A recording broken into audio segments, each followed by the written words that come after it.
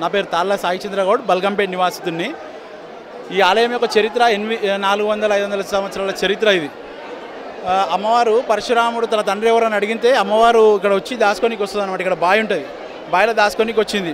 ఇక అమ్మవారు కూడా ఉగ్రరూపం దా అమ్మవారు ఉగ్రరూపం దాల్చిన తర్వాత ఇక స్వామి శిల అయిపోతుంది.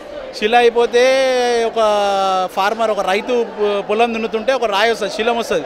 ఆయనతోటి కాదనమాట ఎంత లేపినా ఎంత దొబ్బినా రాదు. శివసత్తులు వచ్చి పూజలు చేసి లేవడితే అమ్మవారికి అప్పటి నుంచి పూజలు స్టార్ట్ అయినాయి. చాలా చిన్నగా ఉండే టెంపుల్. ఇక్కడ ఇక్కడ ఇదేంటంటే స్వయం అమ్మవారు. నీళ్ళు ఊడుతూనే ఉంటాయి నీళ్ళు ఊడుతూనే ఉంటాయి నీళ్ళు ఊడుతూనే ఉంటాయి మీరు ఎన్ని తీసినా సరే ఇప్పటికీ మోటార్ పెట్టి గుంజుతారు. కింద చూడొచ్చు మీరు. మోటార్ పెట్టి తీస్తారు. అక్కడ నుంచి స్టార్ట్ అయింది ఇవాళ ఇంత పెద్దగా అయింది. నియర్లీ అమ్మవారి కళ్యాణం రోజు తొమ్మిది తారీఖు ఎనిమిది తారీఖు గణపతి హోమం పురస్కరించుకొని పది తారీఖు రథోత్సవం దాకా జరుగుతాయి అని అవుతాం. చండీ చండీ హోమం రాజోత్సవంతో ఉత్సవాలు ముగుస్తాయి. కాకపోతే ఏంటంటే last time six to seven month seven lakhs దర్శించుకుర్రు.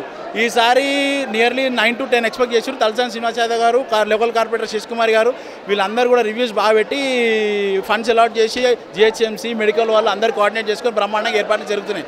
ఇక్కడ ఏంటంటే ఇంకొకటి ఇక్కడ చూస్తే మీరు నిత్య జ్యోతి వెలుగుతుంటుంది. ఆది శంకరాచార్యులు వెలిగించిన from the day of construction uh, of the temple Adi శంకరాచార్యులు వెలిగించింది uh, వెలిగించిండు. అప్పటి నుంచి ఇప్పటిదాకా ప్రజ్వలంగా వెలుగుతూనే ఉన్నది. ఇప్పటిదాకా కూడా నూనె లేకున్నా కొన్ని సందర్భాల్లో వెళ్ళిన సందర్భాలు ఉన్నాయి. చూసుకోవచ్చు మీరు అదో పెద్ద విచ- పెద్ద ఇదన్న పెద్ద మిరాకిల్ అనుకుంటారు. అమ్మవారు చాలా పవర్ఫుల్ అనేది మొక్తే మాత్రం ఖచ్చితంగా అవుతుంది.